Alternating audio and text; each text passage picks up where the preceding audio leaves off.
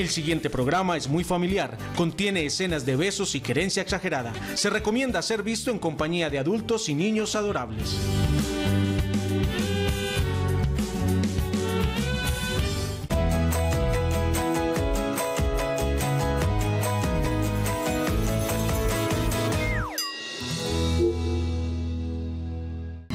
Nos unimos en un arrullo para abrir juntos un camino. Yo te ayudo a empezar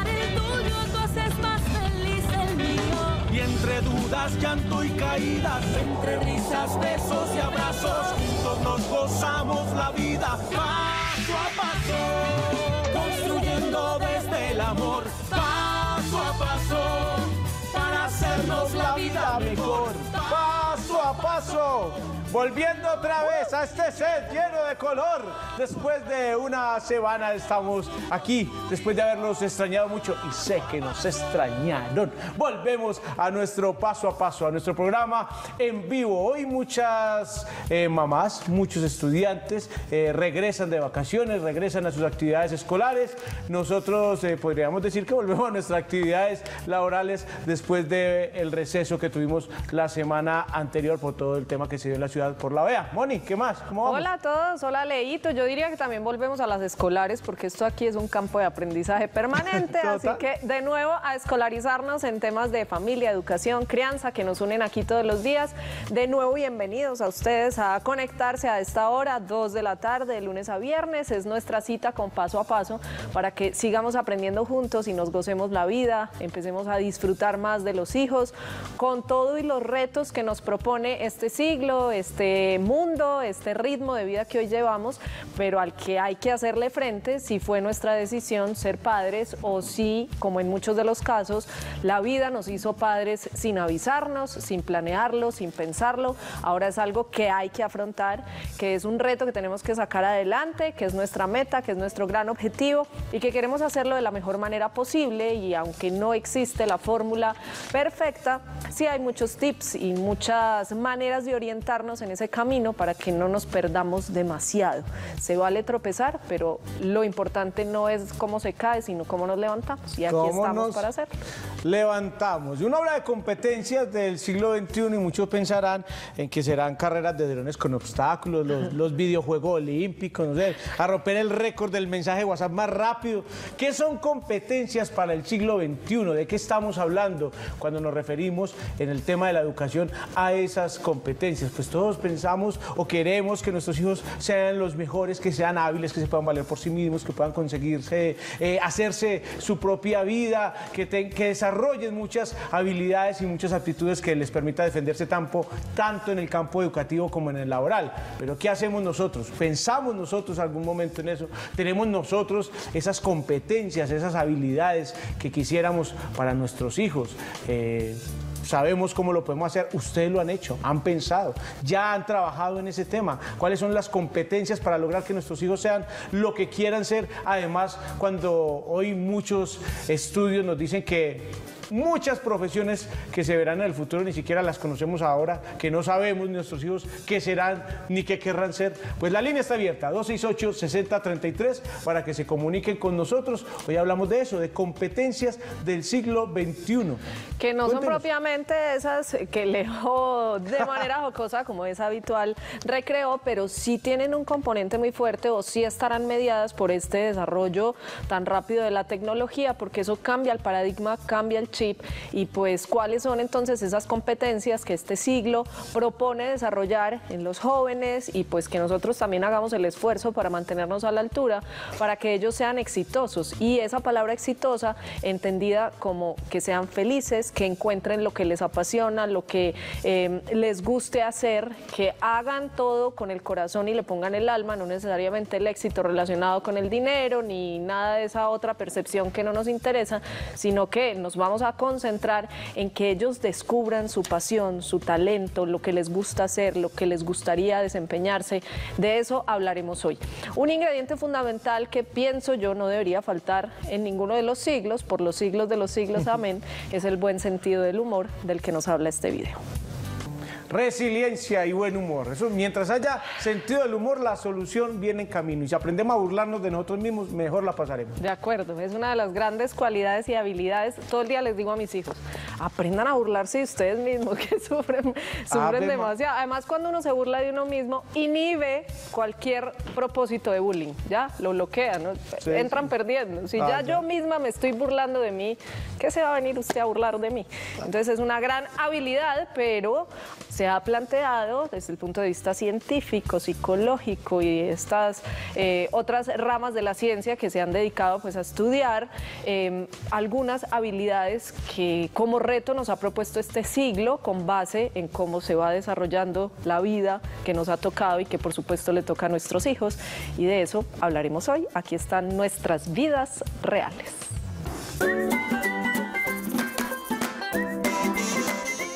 Pues llegan tres invitados absolutamente competentes a nuestro set de paso a paso. Bienvenidos los tres. Voy a, voy a tomar la lista aquí. Tomás Bernal.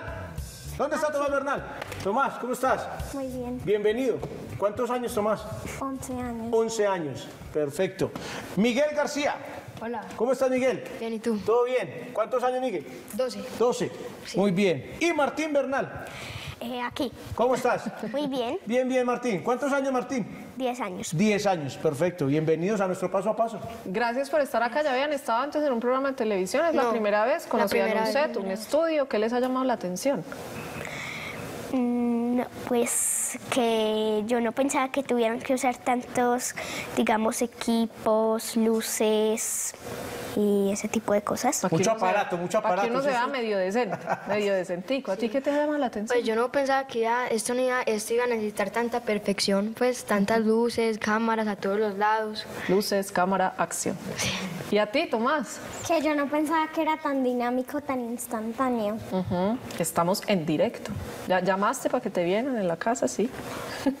pues Leo los presentó como tres alumnos hoy, ya llamado en lista, bastante competentes porque digamos que sus familias eh, han hecho un gran esfuerzo, han concentrado esfuerzos colectivos para que ustedes se involucren directamente con estas competencias que plantea este nuevo siglo. Por eso decía Leo que ustedes son tres chicos bastante competentes. ¿Qué saben ustedes de las competencias que nos exige eh, este nuevo siglo en el que vivimos? Pues yo pensaría que esas competencias serían como la creatividad, el trabajo en equipo, eh, la confianza. ¿Para qué crees que es importante la creatividad, por ejemplo? La creatividad, porque cada vez, como cada vez hay más cosas, uno debe pensar más para poder hacer co- cosas distintas y que le gusten a la gente. El trabajo en equipo. Porque en este siglo uno tiene que trabajar mucho en equipo porque pues porque así es como ya están funcionando las cosas. ¿Tú qué sabes de las competencias? Pues eh, el, el trabajo en equipo, pues como todo lo que dijo Martín.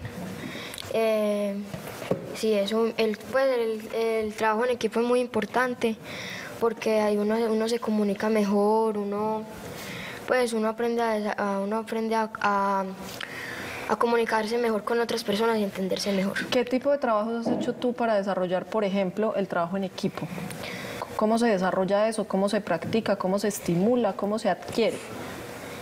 Ese trabajo en equipo eh, ¿Has hecho ejercicios? ¿Has salido? Ah, ¿Les plantean retos para que los logren en Sí. equipo? ¿Cómo funciona un poco?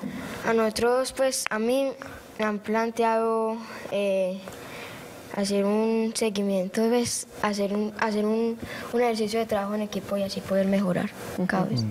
Muy bien, tú, cuéntanos, ¿qué sabes de las competencias del siglo Eh, XXI, Tomás? las, las competencias del siglo XXI que, que nos eh, que han sido muy frecuentes y muy necesarias para este siglo, eh, generalmente me he dado cuenta que tiene que ser eh, el trabajo en equipo y comprender al otro y entender que el otro es diferente y que no todo el mundo es igual y entender que tenemos biodiversidad entre nosotros mismos y que no todos somos iguales y que cada uno tiene un granito de arena que le puede aportar al mundo y puede ayudar con eso. Excelente. Yo, yo Cosa, quiero por ejemplo, que ha de plasmarse muy bien en el trabajo en equipo, todo lo que acabas de decir, ¿no? Si todos tenemos habilidades diferentes, sumemos esfuerzos para que logremos algo en grande, ¿cierto? No compitamos entre nosotros, me imagino yo, que es como la gran idea. Yo quería preguntarles, ¿ustedes ya pensaron qué les gustaría hacer o hacer cuando estén más grandes? ¿Una profesión, un oficio o algo? ¿Tú ya has pensado qué te gustaría y qué es? Eh, de pro- eh, a mí, según lo que yo he visto, me encantan los temas académicos, entonces me encantaría ser eh, ingeniero biomédico o estudiar medicina y también me gustan mucho la parte eh, de la legalidad y las matemáticas, entonces me gustaría o estudiar administración de empresas o eh, tener al- o estudiar derecho. Un médico, biomédico, administrador, matemático puro y que maneje todos sus Uy, temas legales para no meterse en competencias. líos, ¿cierto? No? Miguel, A mí me gustaría ser ingeniero mecánico, Ponte el micrófono así, eso. ingeniero mecánico, o me gustaría ser también anestesiólogo o, o, cirugi- o hacer cirugía plástica, porque me gustaría también pues ayudar a los demás a tener una vida mejor. Martín, tú. Pues a mí me gustaría, pues eh, lo he pensado y me gustaría, no sé todavía, pero me, a mí me gusta el tema del dere- de los derechos humanos, de, la, de las cosas legales. También eh, a mí me gustaría administrar como empresas o también me gustaría ser cirujano maxilofacial. sí, pensaría uno que irían más inclinados por la tecnología, por los videojuegos y... Y no necesariamente, pues este le va a voltear a uno el mascadero, por ejemplo. Pero... Pero siempre con los derechos humanos por Con los delante. ¿verdad? derechos humanos muy por bien, delante. vamos asegurados muy bien. ¿Qué hacen ustedes para desarrollar esas habilidades, Tomás, tú? Para lograr eso a lo que le estás apuntando cuando seas grande. Eh, hay ciertas actividades que nos ponen en nuestro colegio, pero una de las mayores, eh, eh, una de las mayores ayudas y actividades que se pueden hacer son los camp eh, de growth por Elisa Peláez. Que será nuestra experta. ¿Qué hacen en esos campos? Eh, hacemos ejercicios para desarrollar las competencias del siglo XXI de diferentes modos. Eh, pueden ser métodos didácticos, pueden ser métodos eh, dialogados, pueden ser muchos tipos de métodos para... ¿Y ustedes qué creen? Que es, esta yo creo que es la pregunta más importante, así que cada uno va a pensar muy bien la respuesta. A ver, Martín, ¿cuál es el papel de nosotros como padres para que ustedes puedan desarrollar esas competencias? ¿Qué quieren que hagan los papás para que los ayuden en eso? Pues yo pensaría que los que los papás hacen es apoyarnos, decirnos que si podemos cuando cuando fallamos en algo, ayudarnos a levantar cuando nos caemos, Eh, también eh, educarnos para que tengamos la inteligencia y la capacidad de hacer esas cosas. Perfecto. Miguel. Pues a mí me parece que los papás tienen que ayudarnos mucho, pues eh, decirnos eh, en los videojuegos, nos tienen que decir que no, que no te puedes ah, quedar mucho tiempo ahí. O sea, poner jugando. límites. Ajá, poner límites, porque hay gente que, que se queda desde por la mañana hasta por la noche jugando un juego. Entonces les tiene, entonces también. Jacobo, apague eso ya, Jacobo. Haga el favor. Genial, ese buen consejo. Tomás, tú, ¿qué le dirías a los papás para que los hijos de hoy en día logren desarrollar esas competencias? Eh, yo diría que lo más importante es que den su apoyo y entiendan lo que su hijo quiere hacer y no porque, y no porque su hijo tenga eh, pensamientos diferentes a los de ellos, significa que no le deben apoyar y mostrarle que lo otro es mejor. Yo, debe- yo digo que deberían dejarlos experimentar, pero obviamente, como dijo Miguel, deberían hacerlo con límites, porque si no lo hacen con límites, de pronto Experimentan más de la cuenta. Exactamente. Niños, más claro imposible, muchísimas gracias, qué buena introducción. Ya viene Elisa también a ser nuestra experta hoy para hablarnos de esas competencias que propone el siglo XXI a desarrollar por estos jóvenes para que puedan lograr todo lo que se propongan y aquello que los haga felices, plenos, que se sientan contentos, a gustos, que cambiemos de paradigma tal vez muy marcado en esta cultura de hacer lo que el abuelo, lo que el papá, la carrera que el papá le pagó porque si no era esa entonces no. Ahí tienen el mensaje, eso es lo que ellos quieren, apoyo y acompañamiento. Gracias niños. Nos volvemos a encontrar seguramente. Por allá iré yo a que me arreglen la quijada. Mis, mis hijos más bien. Yo no sé si a mí me toque, pero muchas gracias por estar aquí. Nos vamos a ir al corte. Aquí está el dato. Nosotros ya volvemos. Nuestro dato y en paso a paso dice, algunas investigaciones predicen que el 65% de los estudiantes actuales tendrán trabajos que no existen en la actualidad. Estamos preparando estudiantes para trabajos que no existen todavía, donde utilizarán tecnologías que no han sido descubiertas todavía para solucionar problemas que no sabemos que son problemas todavía. Ya volvemos a paso a paso. Chiquito el reto.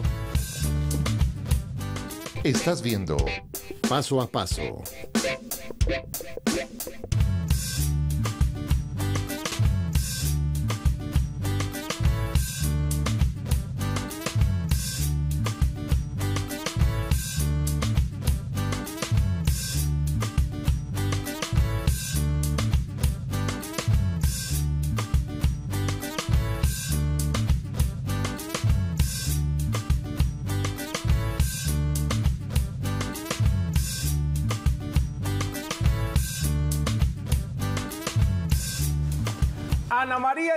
Están ahí en nuestro mamarazzi de paso a paso, que viendo la pinta de Andrés y las eh, habilidades de Ana María, pi- piensa uno, pensamiento crítico, ahí está Andrés, colaboración y liderazgo también, agilidad.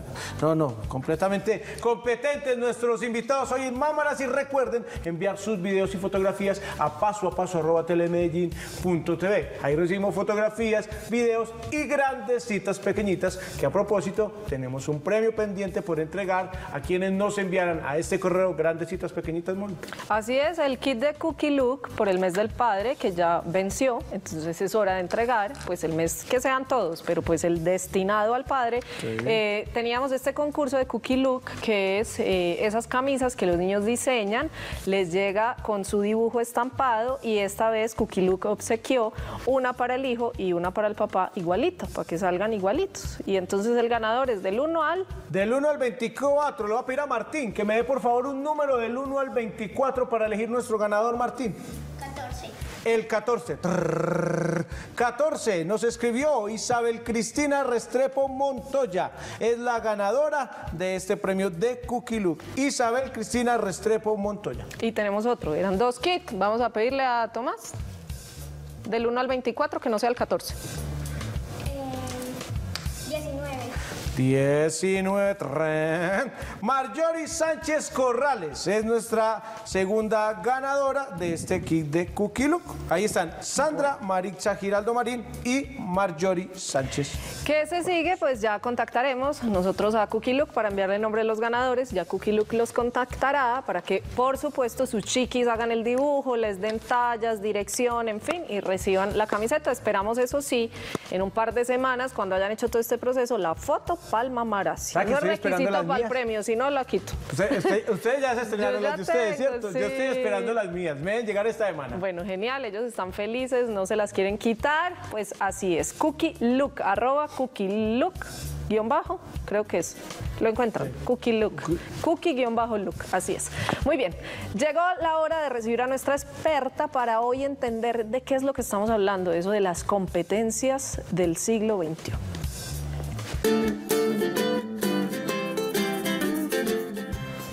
Está con nosotros Elisa Peláez. Elisa, bienvenida. ¿Cómo estás? Eli, bienvenida, gracias psicóloga invitada hoy. Cada que viene deja un tema, o sea que ya vuelve. Eli, gracias por estar acá, eh, por traer este tema tan chévere, suena bien interesante. Pues obvio todos queremos eh, que nuestros hijos alcancen ese éxito, entendido como lo que definimos anteriormente. Y para ello eh, yo quisiera arrancar definiendo qué son competencias, sin hablar propiamente las del siglo XXI, sino a qué nos referimos con competencias a desarrollar. Ok, las competencias, eh, pues me pusiste de diccionario, pero pues pudiéramos como definirlas como esas habilidades que, requiere, que se requieren para algo, ah, eh, que las tenga alguien o algo. Y han ido mutando, ¿no? Con las exigencias de cada siglo, de cada año incluso, pues yo creo que ahora ni siquiera podríamos hablar de siglo porque esto está cambiando tan rápido. que- Así es, de hecho en el 2015 se replantearon, las pla- replanteó la UNESCO eh, adicionando y dándole protagonismo a las competencias blandas. ¿Quién las establece? ¿Qué es eso de competencias blandas y duras? Bueno, entonces, eh, pues más que establecerlas, la UNESCO lo que dice, eh, la UNESCO, pues como para que nos contextualicemos, es la autoridad en todo el tema que tiene que ver con ciencia, educación eh, y cultura. Y lo que hace la UNESCO es que reúne a varios, es como cualquier autoridad en pediatría, en psicología, en lo que sea, pero frente a estos temas en el mundo para la ONU, y ellos lo que hacen es recoger de varios autores o de varias autoridades qué es lo que se espera para los seres humanos se desempeñen adecuadamente en el por el momento las llaman del siglo XXI, pero creo que tienes toda la razón. Irán evolucionando antes de acabarse el siglo. Ah, definamos eso de blandas y duras, que es un término ya muy comúnmente y frecuentemente utilizado, pero a veces uno dice como que competencias blandas, como que competencias duras, ¿eso qué es? Bueno, la dura es como se la habían inventado contraria a la blanda, pero realmente es la competencia blanda que habla de eso que no es técnico, que no es robusto y que no es una verdad. Que no está sino en Google. Tiene que ver Por con como blando tiene que ver como con el con el tema de sentido de vida, valores, cosas que no tienen que ver como con lo técnico, sino más con el ser de las personas, ¿cierto? Entonces la comunicación, el trabajo en equipo, eh, todo lo que tiene que ver vivir en comunidad, entender que vamos a migrar entre países, entonces tenemos que ser abiertos a otras culturas. ¿Esas son propiamente las que se proponen para este siglo? Las que, se ¿Cuántas pro- son? las que se proponen para este siglo están agrupadas en tres grandes eh, grupos. Aprender a hacer, aprender a hacer y aprender a vivir en comunidad. Dentro de esas se definen otras tantas, pero la idea es que esos tres grandes grupos sean los que tengamos y los que desde todas las áreas de Estado, colegio, familia, que tengan que ver con educación, cultura y ciencia, las tengamos en cuenta como le explico a los papás, pues en un lenguaje muy, muy cotidiano, eh, pero es básicamente lo que va a hacer a ese ser humano competente, por ejemplo, en una entrevista laboral. En una entrevista laboral tienes a una persona que tenga competencias blandas y a otra demasiado técnica y el puesto se lo lleva el que tenga las competencias blandas, el que sepa trabajar en equipo, solucionar problemas, tener pensamiento crítico, sepa cómo aprende, sepa cómo se desarrolla mejor, pueda vivir en comunidad, entienda el mundo globalizado y otras mm, de alguna manera técnicas que son todo lo que tiene que ver con tecnología. Porque todo lo demás está en Google. Todo lo demás Pues, está en Google. parte de ese principio, sí. Ahora, a- anteriormente se enfocaban mucho en suministrarle a la gente esa- ese tipo de información porque no había una fuente de dónde extraerla. Ahora lo que usted necesita saber lo encuentra en Google y lo que no hace parte de lo que hay que desarrollar para realmente ser exitoso, llevarse esos puestos y, y, pues encontrar lo que a uno le gusta hacer. Que- que a mí me llama, Moni, la, la atención eso y le pregunto a Lisa, ¿qué tan lejos estamos de eso? Uno oye hablar a nuestras vidas reales y uno ve ya tres caballeros ahí con los que uno tiene las esperanzas eh, muy, muy firmes, pero cuando uno escucha que entre esas habilidades está, por ejemplo, el pensamiento crítico, la resolución de problemas, el tema de la comunicación oral y escrita eficaz, y muchos papás dicen, no, es que ahora mandan un mensaje, ya son emoticones, ya ni escriben ni hablan, ya ¿qué nos espera con ellos? ¿Cómo se, cómo se trabajan entonces estas habilidades, digamos, para recuperar muchas de esas cosas que muchos papás creen que ya perdimos? Porque hasta eso está cambiando, ¿no? Ahora aprenden Claro. primero a leer los símbolos, por ejemplo, que las letras, que antes, pues, desde pequeños era un esfuerzo porque aprendieran a leer y escribir, pero ahora interpretan primero los símbolos, encuentran las aplicaciones por el símbolo del celular, o sea, manejan todo muy bien a través de iconos. ¿Cómo, cómo, cómo, eh, establecer un pensamiento crítico cuando niños no leen ni escriben? Ahora es lo que dicen muchos. Bueno, yo le devolvería la pregunta a los papás eh, porque es un gran trabajo y es normal. Crecimos en una época donde lo más importante era acumular conocimiento. Eso era lo que nos decían. Si usted se va a tener que subespecializar y tiene que ser el mejor del mejor y saber mucho de un solo tema. Entonces, los papás y las mamás todo el tiempo están buscando esa excelencia académica y se están olvidando de esas competencias blandas. Que siempre han estado, digamos que en la familia están los valores y demás. Eh, toda, todo eso que mencionas como del chat y esas formas de comunicar, de las aplicaciones y demás, son simplemente otras formas de comunicarme, pero yo puedo ser tan poco asertivo para comunicarme en vivo y en directo como en un celular. O puedo ser muy asertivo a la hora de comunicarme eh, por un celular, por un chat, por un emoticón, como en vivo y en directo. Son simplemente otras formas, pero no quita que requiramos esos valores y esas eh, competencias blandas para poder eh, desarrollarnos. ¿Por qué básicamente se plantea esto?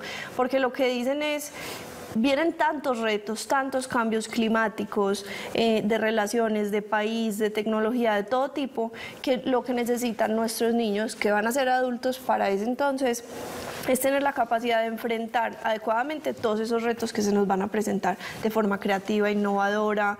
Eh, con pensamiento crítico. ¿Cómo hacerlo desde que están chiquitos? Preguntar, muchas preguntas. Somos, tendemos a darles la respuesta porque creemos que tenemos que acumularles conocimiento. Y que todo tiene que ser como nosotros creemos que es. Exactamente. Y posiblemente no va a ser como creemos y lo que les enseñemos ya, después nos van a ir a reclamar como uno lo hace con los papás. ¿Por qué me dijiste que esto era así? Claro, o ejemplos pendejos como por ejemplo un dibujo y pintó la nube cuadrada, y, pero es que las nubes no son cuadradas. ¿Quién dijo que no? Exactamente. por ejemplo, cuestionamos demasiado.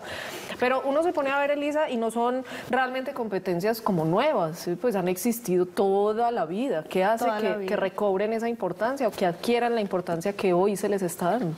Bueno, eh, digamos que en las, en las expectativas que había de desarrollo de tecnología, que vamos, íbamos a millón como país, eh, como país, no como mundo, eh, se dieron cuenta que había una alta dificultad en los trabajos en equipo para hacer algo con esa información. Es decir, acumulábamos, generábamos información, pero a la hora de poder llevar a cabo, solucionar o enfrentar cualquier reto, éramos incapaces de comunicarnos, de poder validar el punto de vista del otro, de cambiar rápidamente de planes. No, es que yo aprendí que esto es así, me super subespecialicé, pero llegó una novedad, una variable que no tenía en cuenta y no soy capaz de hacer algo con ellas. Entonces, es básicamente por lo que recobra importancia y por lo que te mencionaba que en el 2015 la UNESCO emite este comunicado sobre el futuro del aprendizaje.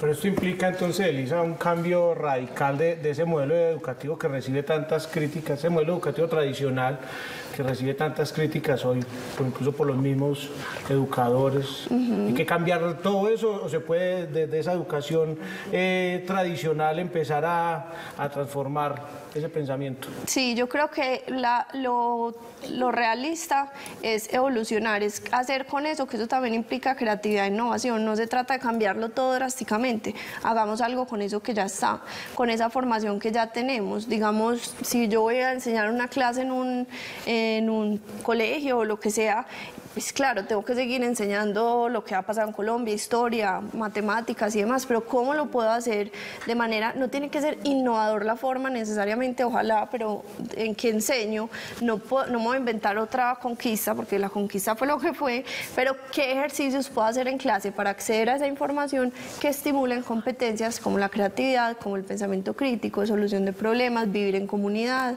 Eso desde el aula de clase, pero ¿cómo puede uno, como papá, pues ahorita mencionábamos algo con ejemplos desde la casa, empezar a trabajar con ellos ese tipo de, de competencias?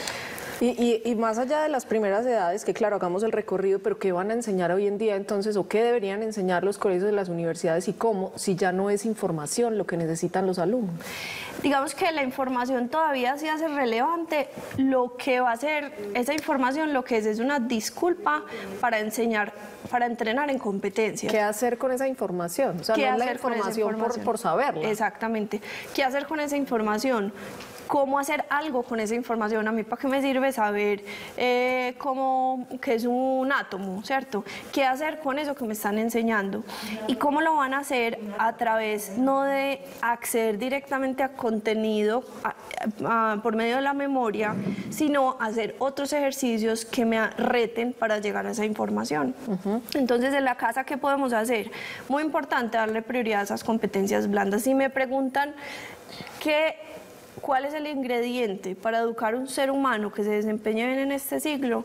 Les diría, concéntrense en las relaciones y en los valores de esa persona. Cómo se relaciona. Se relaciona no quiere decir el más amiguero, el que llega desde el alma a la fiesta, nada que ver.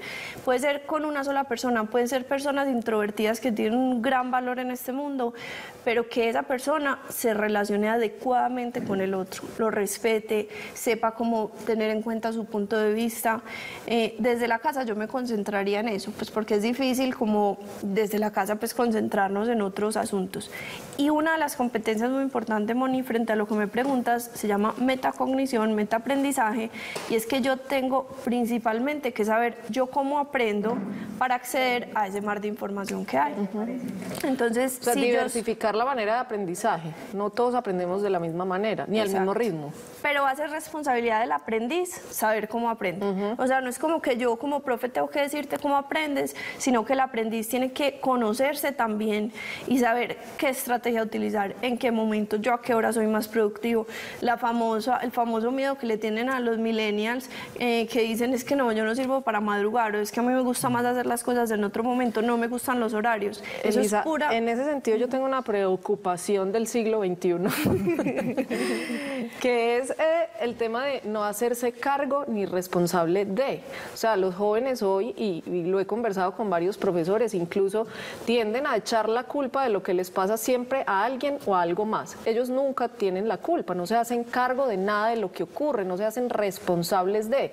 No se trata de tener la culpa, pero sí de tener la responsabilidad, de evitar, de hacerse cargo, de asumir, de asumir sus frustraciones, de asumir sus retos, de asumir las embarradas y lograr una solución sin echarle la culpa, porque entonces ahora el tema de la crianza y todas estas modelos de crianza y disciplina empiezan a decir que es que todo lo que nos pasa es culpa de que no hemos sanado la infancia, entonces todos, ah, eso es culpa de mi papá que me educó así, eso es culpa de no sé quiéncito, entonces no asumimos nada. ¿Cómo hacer para que los hijos se hagan responsables de desde que están pequeños?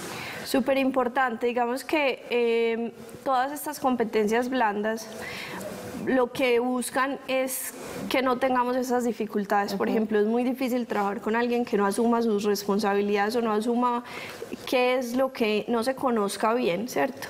Eh, ahí hay algo pues que, que digamos que puede ser una generalización, en todas las generaciones hay gente que no se hace responsable, con seguridad que si nos vamos a investigar otras generaciones teníamos más de lo mismo. Eh, pero definitivamente importante en la crianza ser modelo, ser modelo, asumir de yo como adulto ser capaz de decirle a un hijo, me equivoqué, eh, pues no es que nuevamente sea la responsabilidad de los adultos, ¿cierto? Pero los jóvenes o los niños que no saben asumir, digamos que han tenido un modelo de pronto que les ha costado eso.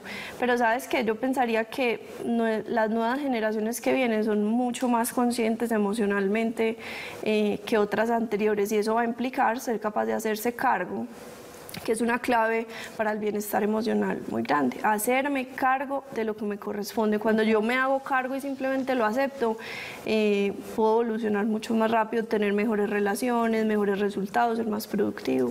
Martín ya hablaba de los derechos humanos, una forma, pues, una conciencia que la quisiera uno ir en, en muchísimos adultos.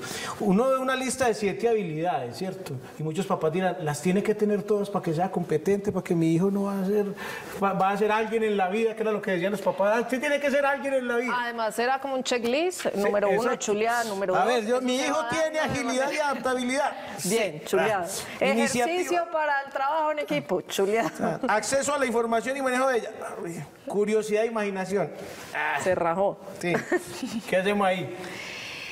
Eh, no, yo creo que es muy difícil, pues la perfección no existe tal cosa, Eh, pero sí tratar como de ver en qué, en qué es- estamos fortalecidos y en qué no. Hay algo importante es que la autoestima está compuesta, creemos que de las cosas buenas, de lo que sirvo y de tú eres muy bueno y demás, pero la autoestima, una sana autoestima, el autoestima, eh, tiene un componente esencial y es saber cuáles son mis debilidades, saber que no soy capaz, que no me funciona además y trabajar por Entonces, como todo en la vida, nunca lo vamos a tener perfecto, tratar de enfocarnos en ellos y en los que no tengamos, hacerle fuercita para desarrollarlo. Finalmente, Lisa, porque hoy tenemos práctica en el programa que tiene que ver con las competencias del siglo XXI y que además es un lugar muy chévere que vamos a presentarles para que vayan y a través de un juego las desarrollen. Eh, esto, claro, por supuesto, de, de forma individual transforma a un ser humano, transforma a una persona, transforma, así suena redundante, al individuo, pero ¿qué pasa con una sociedad educada en competencias blandas? Eh, pues lo que plantea la UNESCO en, en ese futuro del aprendizaje es que vamos a tener generaciones capaces de hacer algo con los retos que se vienen. El mundo se transforma rápidamente, tenemos cambios como nunca en términos de tecnología, digamos que los avances son abismales, pero también climáticos, no sabemos, como decía la frase inicial, ni siquiera qué problemas vienen. Entonces, como sociedad, creo que será una transición más fácil y una adaptabilidad mejor a esos retos que se nos van a presentar o que no nos van ni a tocar a nosotros, pero que a nuestros niños se les presentarán. Bueno, pues muchísimas gracias. Más vale Ustedes. que hagamos el esfuerzo y le apuntemos al desarrollo de estas habilidades blandas, porque como ya lo hemos venido diciendo, el resto está en Google. Ah, Para ser un duro hay que tener habilidades blandas. Sí, más, o menos. Más o menos. Elisa, mil gracias. A como ustedes, siempre, ahorita invitación. salgo para tomar nota del próximo tema.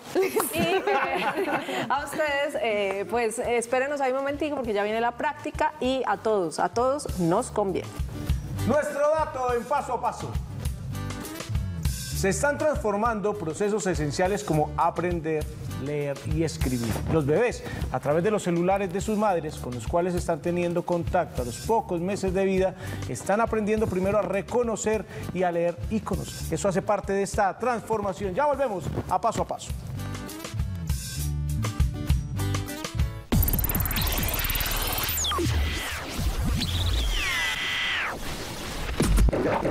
Estás viendo Paso a Paso.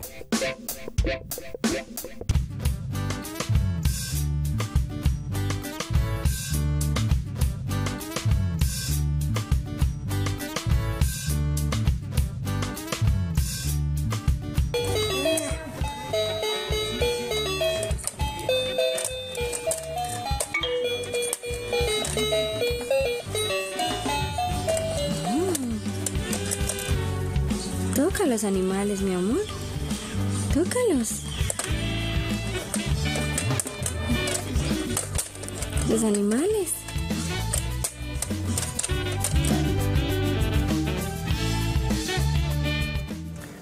Abigail está en nuestro Mamarazzi de paso a paso. Recuerden, video, fotografías, grandes citas pequeñitas en paso a paso arroba. Hoy hablamos de competencias del siglo XXI, cómo desarrollarlas, cómo generarlas. ¿Se aprenden? Eh, ¿Qué hay que hacer? Pues está en nuestra práctica en paso a paso.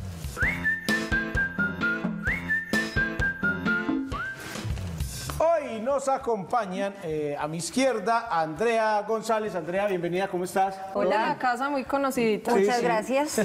Y María Martínez, diseñadora de Escape Room. María, bienvenida. Hola. ¿Cómo vas? Muy bien, gracias. Bueno, están acá. Antes, quiero darle un saludo muy especial a Susana, que eh, ama paso a paso. Es una niña muy bonita que está desarrollando sus competencias blandas aquí montada en este caballo perfecto. y que le encantaría estar aquí un día que hablemos, por ejemplo, de Amazonas. pues. los niños y los animales, los niños y el caballo. A Susana, un abrazo muy especial que también está en nuestro Mamarazzi hoy, aquí vía celular lo que hace la tecnología. Muchas gracias.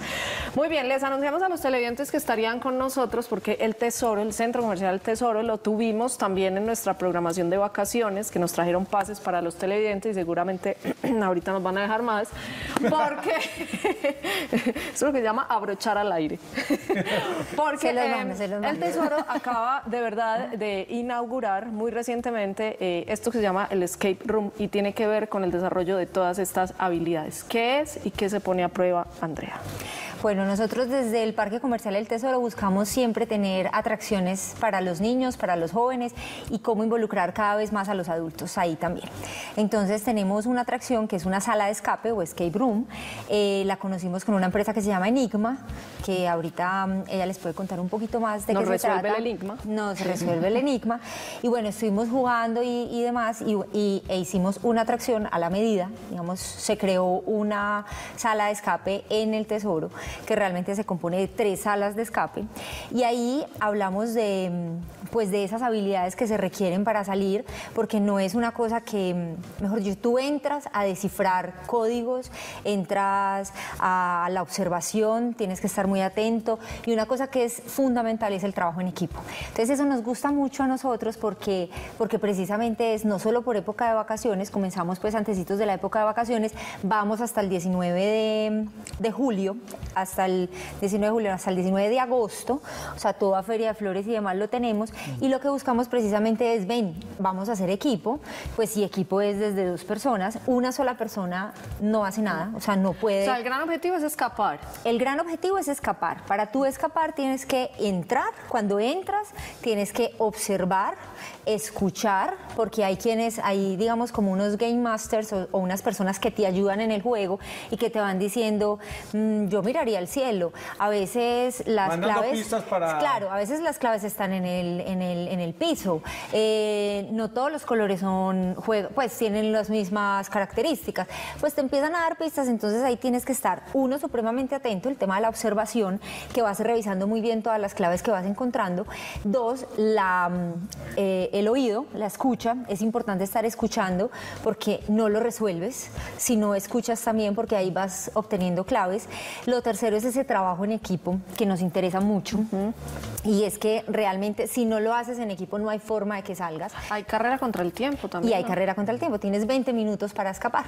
Entonces, digamos que es un juego de habilidad, es un juego de muchas habilidades, de todas estas que vienen hablando aquí en el programa, de muchas habilidades y fundamentalmente del trabajo en equipo. ¿Qué diferencia entre las salas? ¿El rango de edad, el, el nivel de dificultad de las, de las pistas? Esto es a partir de los 10 años, es decir, está para los 10 años. Que era un público muy descuidado además. Uno encuentra mucho juego para los para los chiquis, chiquitos. para los adultos. No, pero les voy a decir, claro, no, pero, o sea, yo soy una que... Que no quiere salir de allá. Exacto. no, En la pero misión es escapar, pero Andrea no quiere salir. No, pero les digo de verdad que es que esto, o sea, esto es para los niños desde 10 años, pero cuando hablamos de niños es De ahí para arriba. hasta los 100 años, porque realmente esas habilidades, o, o sea, vuelve y o sea, vuelve y sale todo eso, entonces tú te pones nervioso igual, o sea, pasa igual, porque yo he entrado ya varias veces eh, y he entrado otros grupos de niños, Ca- cada otros entrada es grupos. distinta, ¿no? Es que No, siempre vas es la misma, es la misma. Cada sala es No, pero me refiero a cada experiencia. Si tú entras varias veces, varias veces te vas a sentir en reto o ya uno se aprende la salida. Eh, si cambias de color, porque son cuatro equipos, cuatro colores. Si tú cambias de color, si bien la dinámica es la misma, el reto es distinto. Es decir, la clave es distinta, el- es Entonces, distinto. sí, sí, es Eso me experiencia volviendo como al desafío. Vámonos para Enigma. A ver, ¿esto cómo se plantea? ¿Qué es lo que es realmente una sala de escape y cuáles son esos principios que hoy hablamos en el programa y que por eso están hoy ustedes acá? Listo. Eh, un juego de escape es un juego que es muy famoso en Europa y en Norteamérica hace como más o menos siete años y en Colombia hay más o menos como solamente 10 empresas. Entonces, nuestro creador principal, que es el dueño, es francés. Entonces, él vino a Colombia, le gustó mucho el país y vio como la necesidad de poner un negocio de esto acá. Entonces, de ahí nació Enigma hace dos años. eh, dos años, sí, no, tres años, perdón, y estamos acá en Envigado. ¿Cómo se diseña una, una sala de estas? ¿En qué se piensa? Es súper difícil. Primero tú tienes como que identificar el público al cual vas a ir dirigido. Por ejemplo, el público de nosotros es muy amplio porque como les comentó Andrea, es desde los 10 años hasta los 100 años. Entonces, O como... más. O más. sí, es como mirar como... eh, crear retos y crear pruebas que, que todos seamos como capaces de, de responder en el tiempo que tenemos para hacerlo. Entonces tenemos una hora para hacer esto, entonces creamos como, nos basamos como en pruebas en algunos otros escape room que han creado en otras partes del mundo y así es que lo creamos. A esta sala se puede ingresar, ingresan solamente grupos de, digamos, niños o pueden ingresar las familias completas, papá, mamá, no hay ningún problema cuál sea la, No la importa, distribución. no importa, o sea, por eso decimos desde los los 10 años en adelante. Entonces pueden entrar, digamos, vamos nosotras dos, puede haber tres niños, tres niños de 10 Ah, pues años. yo con mis hijos, dos 11 abuelos años. y nos metemos Tú los seis. puedes ir, exacto. Entonces se pueden tener cuatro grupos, o sea, esto es para cuatro equipos. No quiere decir que solo cuando estén los cuatro equipos se entra, es decir, si hay un, si hay un, llegaron pues dos personas y lo quieren hacer ellos y digamos que no hay nadie más, pues entran. Pues tampoco es como, ay, bueno, no, solamente hasta que lleguen los cuatro. Pero esto da a- para, perso- para formar cuatro equipos y cada equipo de máximo seis participantes, ¿cierto? Se puede, pueden ingresar. Y eh, no importan las edades. ¿Cierto? Porque yo de hecho en Enigma mm, pues celebramos el cumpleaños de mi sobrina y ella entró con sus amiguitas de 13 años. La idea era que no escapara. No, ellas se escaparon. Todavía está nada, se le va a cumplir los 14. y No, todavía está ellas se escaparon, ellas se escaparon, ella y sus amiguitas, mi mamá, mi hermano y yo entramos a otra sala y no escapamos, o sea, no pudimos. O sea, le salió el Eh, tiro por la culata. No, claro, pero es que ahí también te das cuenta que hay un, un signo- o sea, creo que a veces los, los, esto es un reto muy bacano también para los adultos, y es muy divertido y jugarlo con los niños, porque te das cuenta que hay cosas que ellos ven que tú ya no ves, o que has olvidado. Pero, pero eso quería preguntarle, o sea, está la posibilidad de no escapar, digamos, de perder Ah, sí, en el juego y ahí hay, sí. una, hay un sentimiento de frustración que lo Sí, viven ya los llega adultos, punto- igual los niños. Claro, pero llega un punto, llega un punto en el, en el que el Game Master que decimos, pues como esa persona que está acompañando el juego te dice, bueno, se acabó el tiempo. O sea, mejor dicho, en esta ya no pudiste, la que sigue.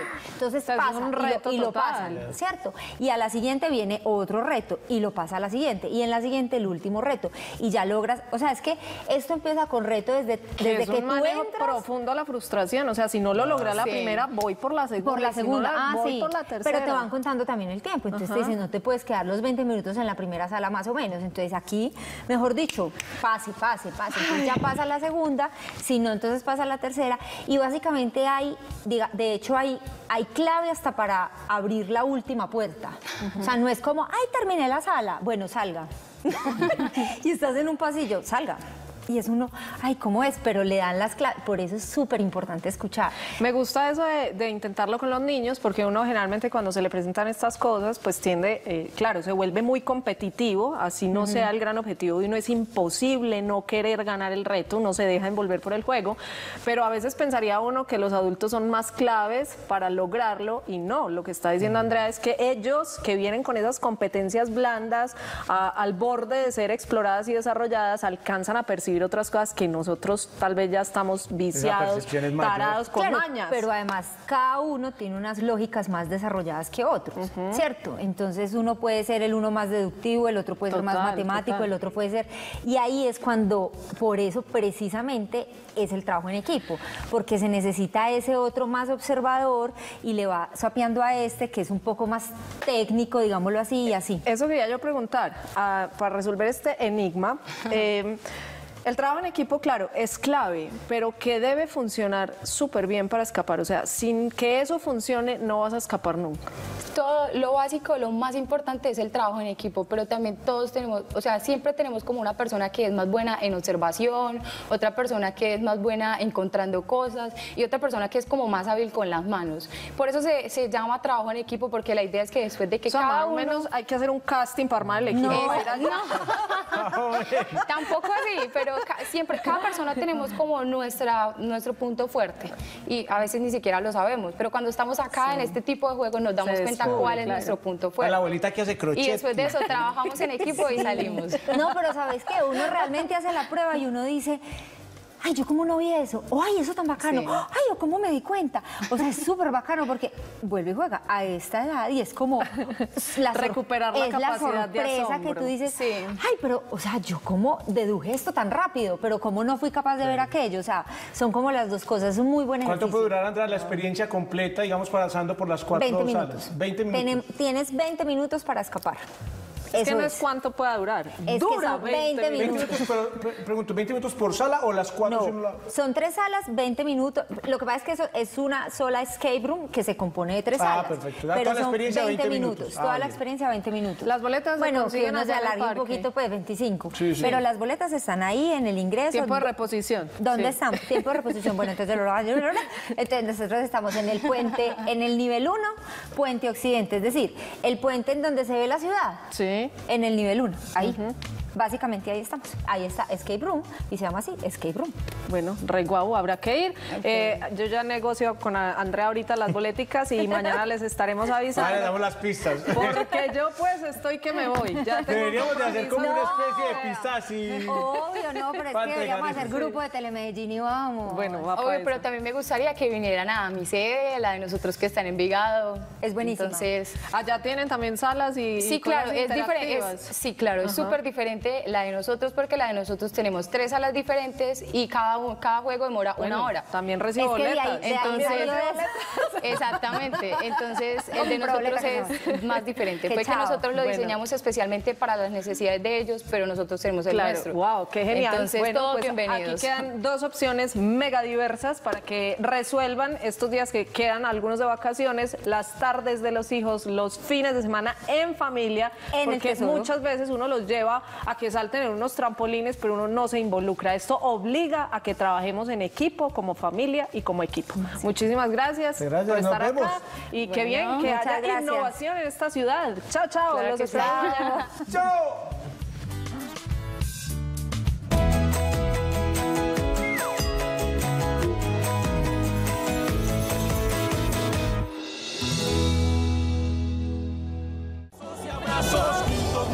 Gozamos la vida.